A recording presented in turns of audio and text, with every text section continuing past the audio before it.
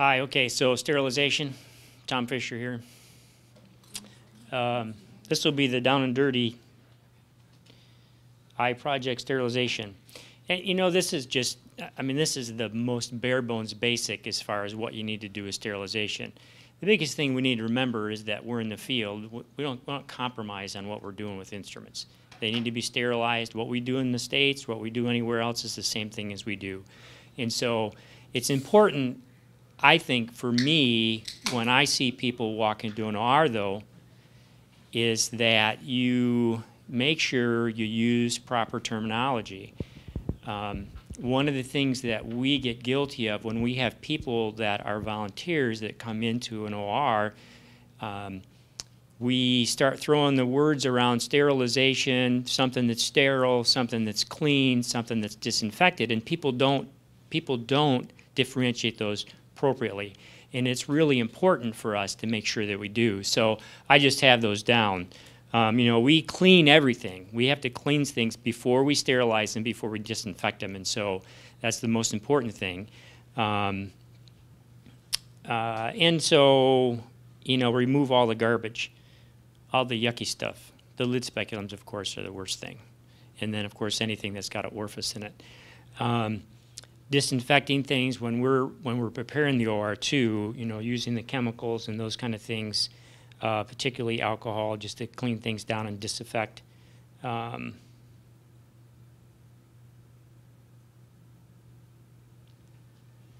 but again, disinfecting is not sterilizing, so make sure you. I think it's worthwhile. We pro- I, I've never actually done that, but probably to sit down people in the OR and say, okay, let's just make sure we define these. Um, and then sterilizing, we actually destroy things. Um, and we always validate our sterilization with, uh, with um, uh, test strips of some sort, some test indicators to go. So that's why I said death to all. It kills everything, including spores, including viruses. Um, and sterilization is always our goal. And there's different ways that you can do that. So a general autoclave, the kind that's set on the you know, that we use on the desktop, which we're probably most familiar with. Statims are flash sterilizers, um, which are very helpful. Hot air ovens we've used. Um, those things can really be hard on your instruments um, uh, as well. And then, of course, using chemical. If you're at a clinic where you are going to be somewhere long term, chemical actually is a pretty nice way to go because they'll take these um, ethylene oxide particular i know i've seen places where they just get an old refrigerator and then you know they get their instruments wrapped they put a test indicator in them and then they have a whatever capsule or whatever they release inside there and it takes i don't know how long it takes i think it's a 12 or 24 hour process but when that thing's done that you know you've got them sterilized and it permeates everything so anything that you've got inside your wrap packs whether it's um, if you have, um, you know, plastic bags that you use, foam, anything, it does a good job of sterilizing all that stuff. So if you're someplace where you can do that, that's cool. For us, where we go in and need to sterilize things, that's just not very practical. It doesn't make any sense for us to do that. But if you're going to sterilize packs and stuff, that can be helpful. So things you want to bring. Um, um, if you're going to do autoclave, whatever you're going to do, you, you, have to sterilize those things in some sort of packs. Um, notice it says in parentheses that uh, I forgot towels once. The very first project we went on, I had all my instruments and uh, we were using autoclaves, and I didn't bring any towels to wrap things in. it was a learning curve. Unfortunately, we were working at a hospital that had plenty of towels to wrap things in, and so we uh, we were okay there. Sterilization validation test indicators are just essential. I don't uh, sterilize anything without putting an indicator in it. I mean, I've seen people go, "Oh, we'll do it on every other one." Well, I only want every other one to be sterile. I mean, for us, it's important that we be objective about what we do, and we don't want to drop our standards when we're overseas than what we would do in the states. So everyone gets it. Um, sterile table drapes, and that's something for us because it's convenient when we're in an OR that we use a back a back table um, that has a sterile field on it where we can take extra product and set it there and pull off there. Um, something that I think is uh, important too is you, you know you have to be careful about cross contamination, and once you've started a case and I've got a I've got a mayo tray in front of me, you don't want to um, reach back and grab something if you've broke essentially you know your contamination from a patient. Um, that makes sense. Does that make sense. Um, okay, instrument cleaning. You know, if you have to flush things, I bring, I try to bring little wires for cleaning out the orifice if you get a bunch of nuclear stuff in your Simcoe, because um, that can be problematic. Um, enzymatic cleaner can be helpful if you have uh, stuff, because that has a tendency to eat that garbage out of the cannulas too sometimes. Um, but whatever it takes, brushes, particularly toothbrushes, I always carry a toothbrush with me, and then I have something to clean my teeth and my instruments. Um, so that's important. Um, bring your thinking cap and readiness for unplanned or things unpredicted. Uh, I don't exactly know why I stuck that quite in there. I suppose when uh, when uh, something breaks, I had my Statim break in the middle of Sierra Leone because anyway, so it was an issue of taking my Leatherman out, taking the thing apart, finding where it came apart, put it back together. Those are just the unexpected things you have to deal with. Um, and uh, when we set up the OR, and this is not sterilization, but that's just disinfecting, of course, you want to do what you normally do. Once you've got it set up, then take your alcohol or your acetone.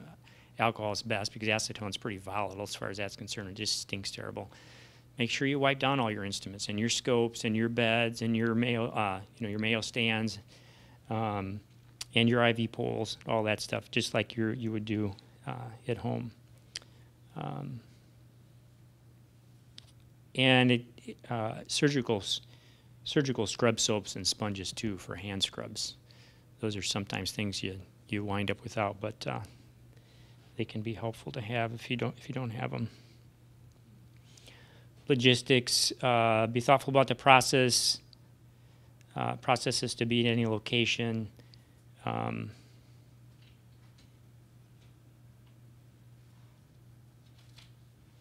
yeah, so depending upon sterilization, turnaround time is really one of the things um, we were talking about that earlier. If if my sterilization process, um, I'm going to be using a hospital's uh, bulk sterilization um, and turnaround time is going to be two hours or however long it takes them to run that thing, then you're going to have to have a lot more instrument sets than if you're using a Statim where your turnaround time is five minutes.